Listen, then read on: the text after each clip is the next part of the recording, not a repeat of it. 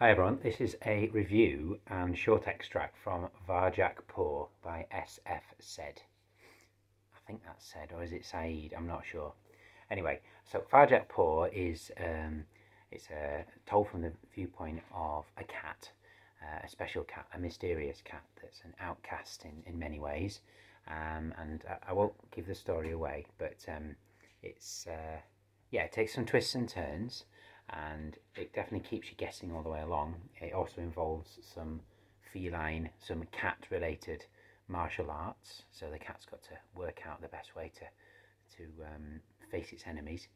Um, and yeah, it's, it's, it's, a really interesting book. Um, so I'm just going to read the, the opening of it now, just to give you a little flavour.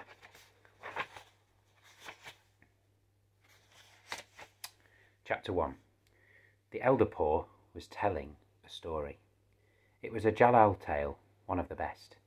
Varjak loved to hear his grandfather's tales of their famous ancestor, how Jalal fought the fiercest warrior cats, how he was the mightiest hunter, how he came out of Mesopotamia and travelled to the ends of the earth, further than any cat had been before.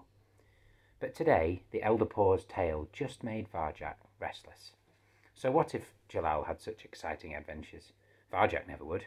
Jalal had ended his days in the Contessa's house. His family of Mesopotamian blues had stayed here ever since.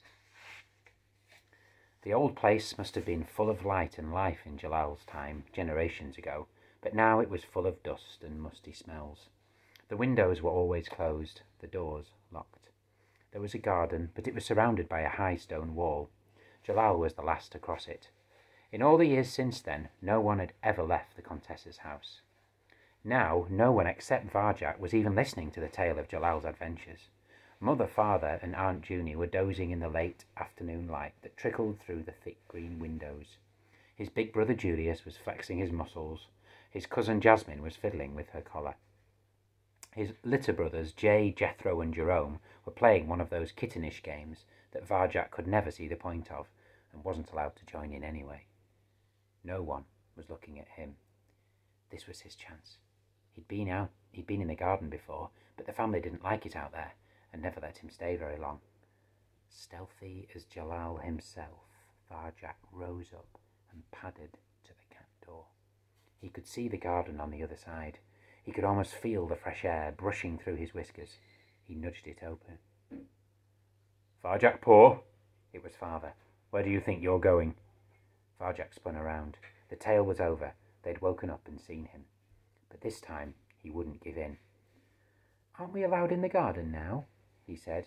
Sweetheart, said Mother, coming over and straightening his collar, the garden is a nasty, dirty place. You're a pedigree cat, a purebred Mesopotamian blue. What do you want out there? So, highly recommend Varjak Paw. Uh, probably best from sort of year three upwards, um, just because some of it's the language is quite grown up. Um, but I'm sure that older children would really enjoy it as well. Uh, it's a great author, is um, old SF Said or Said. Um, I'll find out how to say his name. But yeah, strong recommendation that one from the All Saints Book Club.